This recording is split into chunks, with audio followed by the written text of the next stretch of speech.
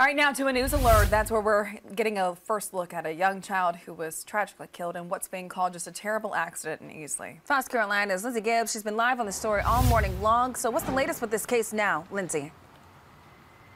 Right now we're on Grant Valley Road. That's where this accident happened. It's a tragedy, and you can actually still see what's left here on the roads. That spray paint from uh, Highway Patrol and investigators. You can see the um, LR and uh, the front L front, which means left front and left rear of the vehicle. This is where it was. And this is right off of Saluda Dam Road. Now, we're told the accident happened around dinner time on Tuesday evening.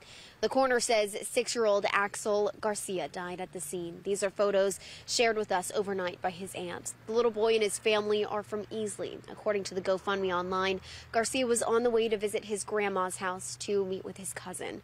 Highway Patrol says there were two cars involved, both traveling in the same direction. We're told the little boy fell out of the back seat and was then hit by the car behind him. Uh, the South Carolina Highway Patrol, they are investigating this. We have reached out for new information. Of course, we're going to update you as soon as we receive that.